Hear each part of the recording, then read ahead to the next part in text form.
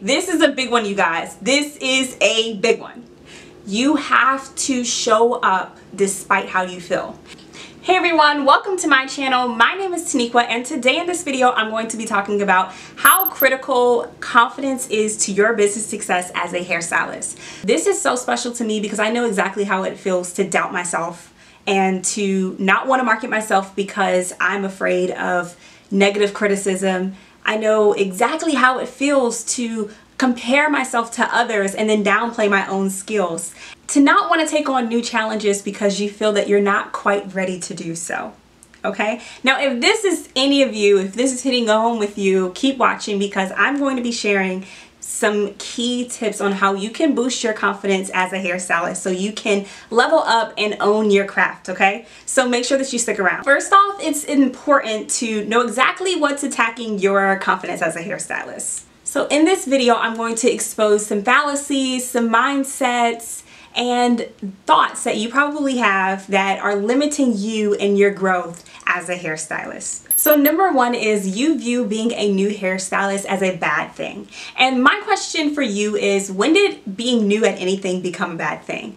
everyone, including all of the hairstylists that you constantly compare yourself to, had to start somewhere and they started at the beginning. So you want to take it easy on yourself and and know that this is a beautiful place to be in. You're not going to always be new. So you want to take advantage of the your positioning right now, okay? So number 2 is you glorify other hairstylists and their talents and you downplay your own, aka comparing yourself to others. This obviously isn't good for your confidence level and it keeps you from wanting to show up. It's okay to look at other hairstylists and be inspired by what they're doing and like what they're doing. However, you are suffering while you are watching them at this stage of your career. This is the exact energy that is taking away from your journey. So you might want to watch this, you guys. In addition to that, you have to find your own niche. And sometimes it makes it very difficult when you're heavily focusing on someone else and mimicking what they're doing instead of creating a path for your own self. So it's so important that you watch this you guys. Number three is not wanting to take on any new clients until you have more experience. Now I know this seems like a no-brainer but there are a lot of hairstylists that are doing this. Now Here's a screenshot of one of my clients who is a hairstylist that is doing this very thing. The only way to become more experienced is to have practice and taking on new clients is the best way to challenge this mindset. Number four is I can't get clients because I am new. Now we know that this is not the truth. Being new isn't the reason why you're not getting any new clients. Not showing up and not marketing your services is the reason why you're not getting any new clients. Some clients don't have a preference on how new you are unless you give them a reason to negatively question it. That's why it's so important to erase this lie out of your out of your mind and and to insert the truth. And the truth is, is that you can get clients whether you're new or seasoned, but it's up to you to make sure that you're marketing marketing yourself and putting yourself on a level where you believe in you. Number five is I'm not good enough and I don't know if I'll ever be good enough.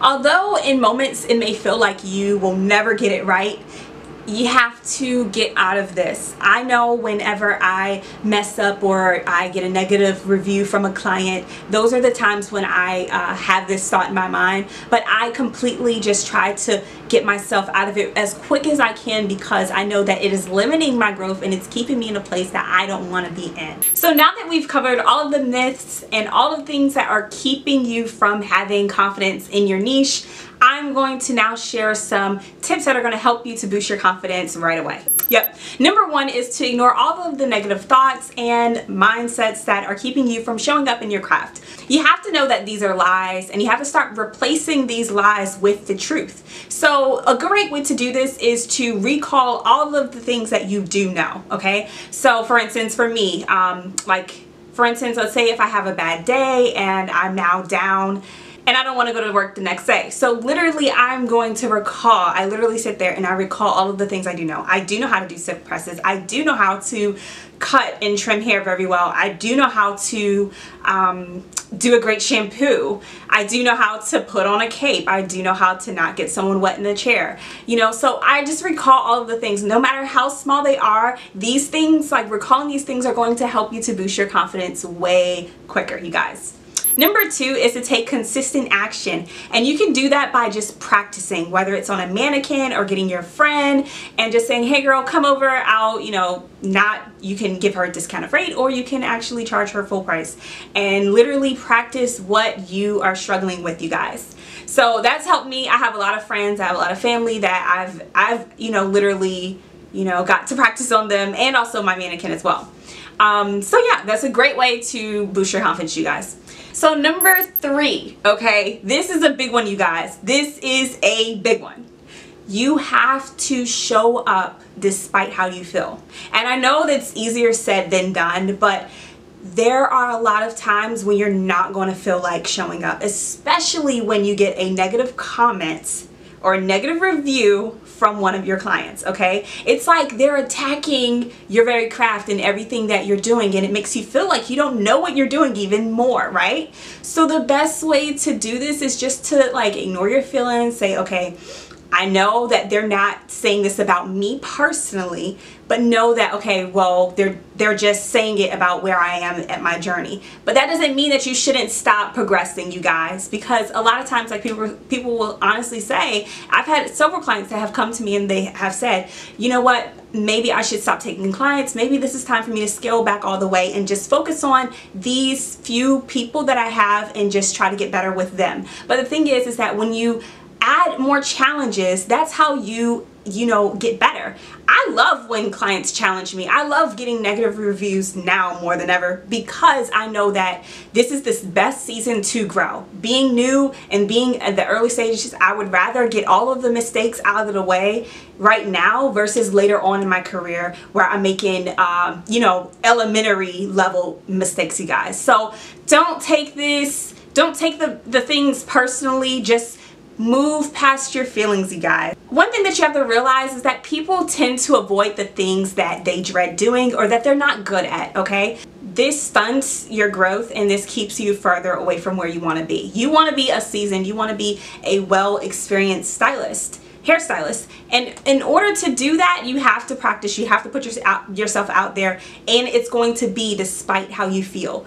This season that you're in is very uncomfortable, okay? It's very uncomfortable and there's no way around it but through it. There's no way around it but through it, you guys. So all those times that, you know, you're like, oh man, I really don't want to go today because I had a bad day the other day and people are going to remember that you have to shake it off, shake it off and just not wear your not wear your feelings on your sleeves right now in this season guys. So number four is to get a mentor.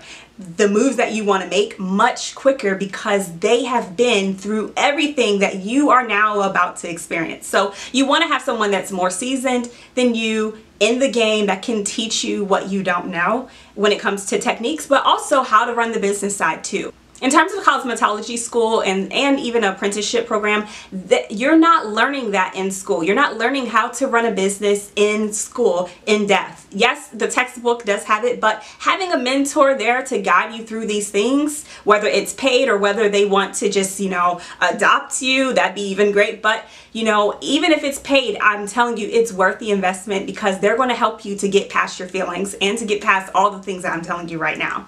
Number five is to take classes and to go to events. Now this is so great in terms of building your confidence because when you see other like-minded people that are, you know, either where you are right now or like a little bit further than you, it inspires you to be around all those different hairstylists that are, you know, just so hungry and just so ready to just level up in the game. I'm telling you, it does something to to your your soul when you see all those individuals that are just so pumped about what they're doing. It just, I'm telling you, it's going to rub off on you. And you're going to feel like you're not alone in this.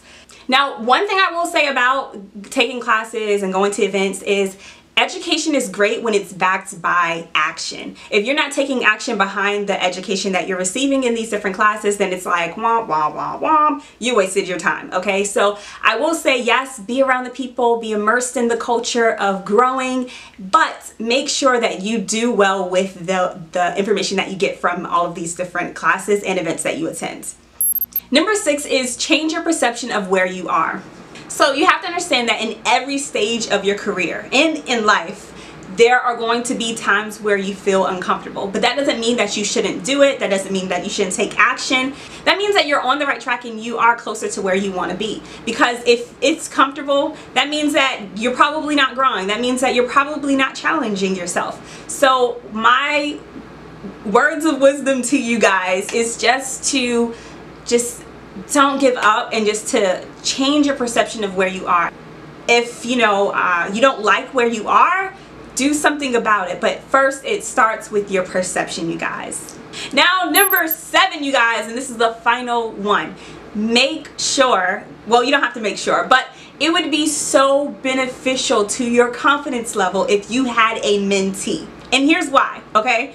Mentees are a great way to level up much quicker because you have someone that is counting on you, that is looking up to you for whatever guidance that you may have. Now, I know that it seems a little crazy to have a mentee because you feel like you're so new and you don't have anything to give to someone else, but you actually do. There's someone right now, whether they're like close to you or whether they're in a Facebook group forum, there's someone out here that is three steps behind you and they want to know the information that you have and that's literally what drives me. Like I, I know that there's someone out there that can benefit from the learning lessons that I have experienced over the last year and a half two years of me you know, getting myself into the cosmetology. When you have someone that is looking up to you for advice or information, you're 10 times much more likely to show up for your craft and for your business. So I'm recommending that you get a mentee, you guys. Now, it has helped me in terms of, you know, creating my YouTube channel and, you know, building the inner workings of my business because people would ask me questions and also I would just want to have these things ready for them. So it forced me to read more, to learn about these things. I'm recommending it for you because it's so it's such a great way to boost your confidence you guys. So that's all the tips that I have you guys for this video so hopefully this was helpful for you building your confidence within your craft make sure that you give this video a thumbs up if you found any of the information useful so it can help other people to find this information as well and if you want to be a part of my e-community, make sure that you subscribe to my channel because I will be posting up new videos every Wednesday, you guys. That's for beautypreneurship, for just hair tips, and social media, you guys. So Thank you so much for watching this video and until next time make sure that you stay productive have a great life and stay healthy you guys and I will see you in the next one